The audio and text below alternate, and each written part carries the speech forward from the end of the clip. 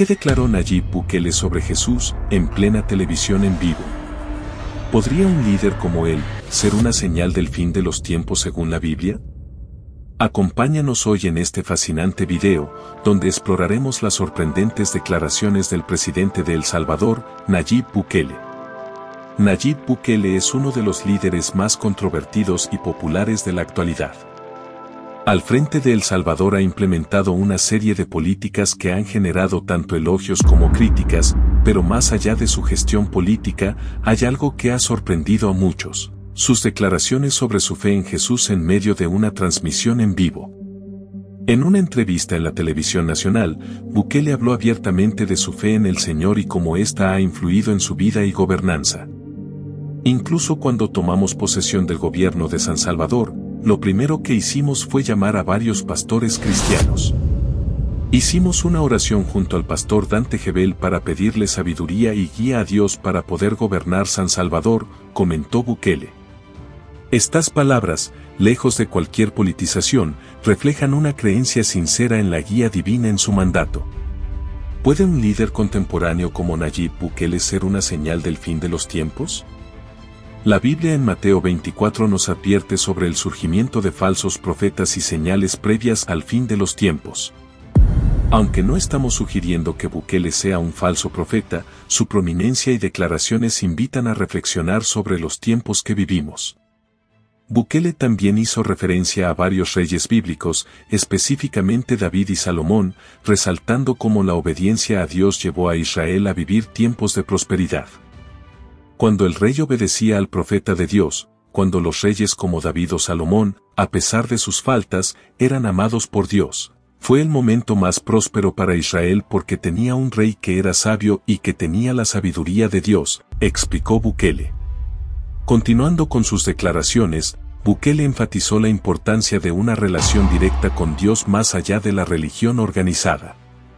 Creo que es más importante la relación directa con Dios, ser humilde y decirle a Dios, Dios, por favor, dime qué es lo que debo de hacer en tal situación, afirmó Bukele. Semejante perspectiva resuena con lo escrito en Santiago 1.5. Si a alguno de ustedes le falta sabiduría, Pídasela a Dios y Él se la dará, pues Dios da a todos generosamente sin menospreciar a nadie. Bukele continuó subrayando que la presencia de Dios no se limita a los templos. Dios también está aquí en este set.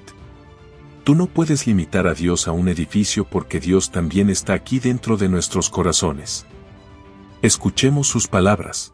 Reinos que tuvo Israel, que son los que menciona la Biblia, porque eh, son cuando, cuando el rey obedecía al profeta de Dios. Cuando el rey no obedecía a los profetas de Dios, eso había problemas en el rey. Cuando los reyes como David o Salomón, que a pesar de que David pues cometió faltas, pero era amado por Dios y por lo tanto lo, perdonó. Pero en el caso de Salomón, por ejemplo, fue el, el, momento más próspero para Israel. ¿Por qué? Porque tenía un rey que era sabio y que tenía la sabiduría de Dios.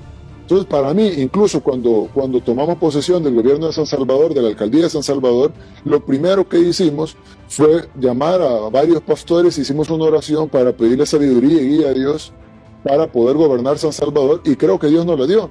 Al final de cuentas, las demás cosas, como bien dice la Biblia, la palabra de Dios, las demás cosas vienen por añadidura. Ahora, cuando tú me preguntas, bueno, ¿por qué estás hablando tanto de Dios, de Salomón, de David, de, Yahweh, y, me estás y me dices que no soy religioso?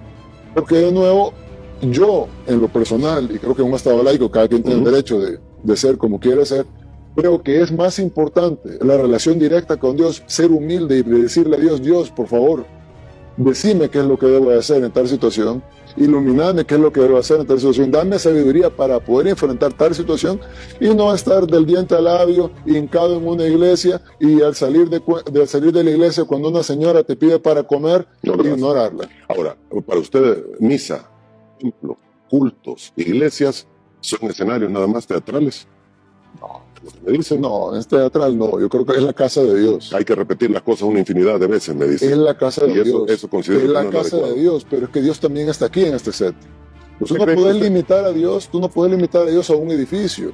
Porque Dios también está aquí. Correcto. Dios está en, tu, en, en nuestra casa de habitación, está dentro de nuestros corazones, está dentro de nuestras cabezas, está dirigiendo mi lengua. Ahorita cuando yo estoy hablando, Dios está dirigiéndome. Si Dios no quisiera, yo no pudiera hablar.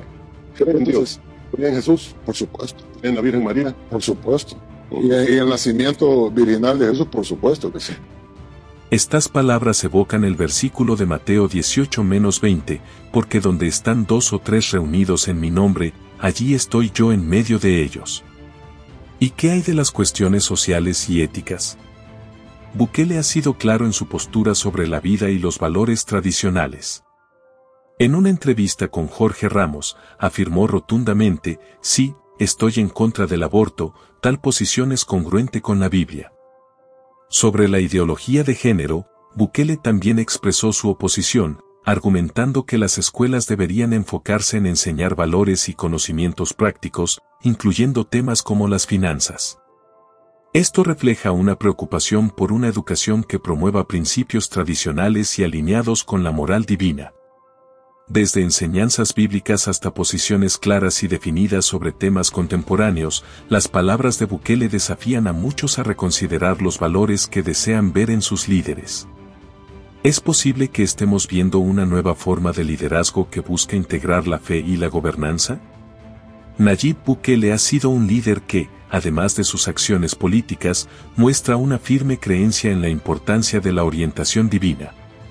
Su postura sobre la fe y los valores cristianos también se ha visto reflejada en su gestión gubernamental. En otra de sus intervenciones, Bukele destacó la influencia de las enseñanzas bíblicas en su vida diaria y en sus decisiones como presidente. Esto es particularmente revelador cuando consideramos que El Salvador es un país con una profunda tradición religiosa. Es importante que se retome a Dios en las escuelas, que se retome la moral, el civismo, declara Bukele subrayando la necesidad de Dios. Una educación basada en principios divinos. Esta perspectiva también va en línea con el cristianismo. Además, el presidente ha mostrado un claro rechazo hacia las ideologías que considera antinaturales y antidios, especialmente en el sistema educativo actual.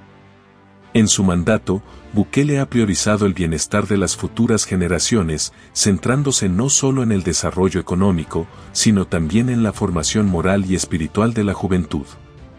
¿Podría una figura como Nayib Bukele ser vista como una nueva forma de liderazgo que fusiona la gobernanza política con la moral cristiana? En un evento significativo, Bukele envió un mensaje claro a la comunidad cristiana, llamando a todos a trabajar siempre con la voluntad de Dios y a seguir luchando por lo que sea mejor para nuestros hijos. Esta proclamación resuena con la misión de muchos cristianos de vivir y actuar de acuerdo con la voluntad divina. La conexión constante de Bukele con la fe y su discurso enfocado en la guía divina puede ser visto como una inspiración para otros líderes mundiales.